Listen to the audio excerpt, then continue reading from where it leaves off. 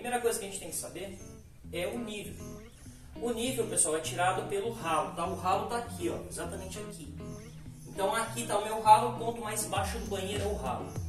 Pelo ponto mais baixo, eu tiro o meu nível. Meu nível começa da segunda peça, não da primeira, porque a primeira vai ficar sem cor. Eu vou começar da segunda para cima. Então eu vou colocar ela aqui, marcar, para a gente poder projetar o laser, beleza?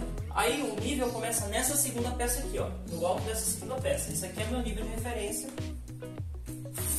certo? Esse aqui é meu nível. Exatamente nesse canto. Então, pessoal, eu vou projetar o meu laser aqui e daqui dessa segunda peça eu vou começar a parede. Vou deixar essa primeira sem colocar. Depois que eu fizer o chão, eu coloco ela depois. Fechou? Agora acompanhe a instalação com a gente. Fui!